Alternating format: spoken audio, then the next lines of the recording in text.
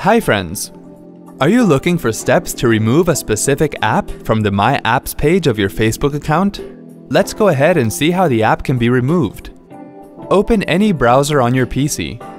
In the address bar, type www.facebook.com and then press enter. Log in to your Facebook account. To remove an app from your settings, click the gear icon in the top right corner of the Facebook page and select Settings. Click Apps in the left column. Click on the Edit button next to the app that you want to remove. Scroll down and then click on the Remove App link. On the confirmation dialog box that appears, check the box next to Delete all your app's activity on Facebook, and then click Remove to confirm. See? That wasn't hard at all. Thanks for watching.